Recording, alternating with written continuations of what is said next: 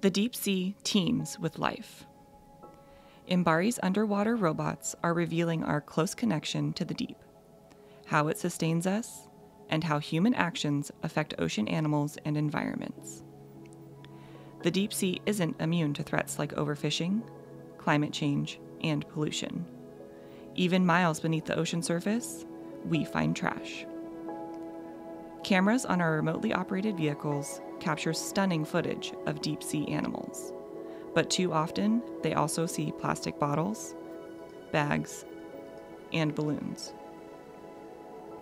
As our team here in MBARI's Video Lab catalogs our extensive archive of deep sea video, we've logged thousands of observations of deep sea debris at dive sites in Monterey Bay and beyond. In all regions MBARI has explored, we found garbage in the deep sea, and more than a third of that is plastic. Plastic pollution puts deep sea animals at risk. On the seafloor, bags and other plastic trash can smother marine life. In the midwater, drifting debris can entangle or choke animals, or damage their delicate structures. Plastic trash also breaks down into smaller and smaller bits and pieces, called microplastic. Microplastic has been found throughout the ocean, from the surface to the seafloor. MBARI's high tech research tools revealed how tadpole like animals, called larvaceans, collect and ingest microplastic in their snot palaces.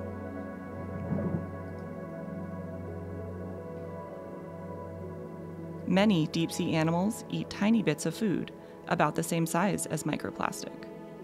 Feathery mouthparts and elaborate mucus structures can't tell the difference between food and plastic. We still have a lot to learn about how microplastics affect deep sea animals and communities. But one thing is clear the deep sea is closer than you think. Our actions on land ripple across the ocean, from the beaches and coasts to the open sea and the depths below. All life on Earth depends on a healthy ocean. To stem the tide of plastic pollution, we need to use less plastic and choose reusable alternatives to single use plastic. MBARI's mission is to advance marine science and engineering to understand our changing ocean. Our work provides critical information needed to protect the ocean from threats like pollution and climate change. The amazing animals of the deep are counting on us to protect our beautiful blue planet.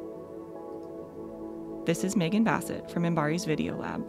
To learn more about our changing ocean, follow MBARI on social media.